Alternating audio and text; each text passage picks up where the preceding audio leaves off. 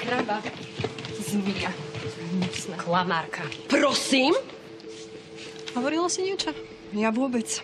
Ani by mi to v prítomnosti tejto slečny veľkomožnej nenapadlo. Babi, ja som... Babi? Aké sme ti my babi?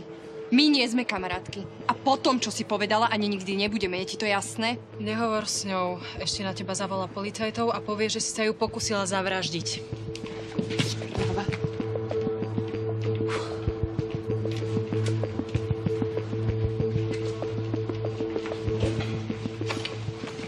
Sandra, Sandra, počkajte. A vy si chcete do mňa kopnúť? Nie, chcem sa s vami porozprávať o Lote a doktorovi Balogu. Nie. Nie. Nič vám nepoviem. Pokojne ma neznášajte a rozprávajte o mne, že som zmia. Môj názor nezmeniť. Ja si o vás samozrejme nemyslím, že ste zmia, ale doktor Balog... Viem, čo som videla. A stojím si za tým. Pán doktor, žiadna žena by nikdy nemala niečo takéto zažiť. Ale počkajte, to nikto netvrdí.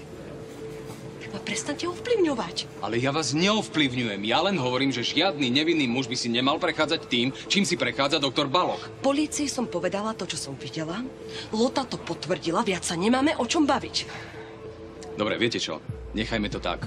Uzavrime to. Možno časom pochopíte, že nie všetko je tak, ako sa na prvý pohľad zdá. Aha. Dobre.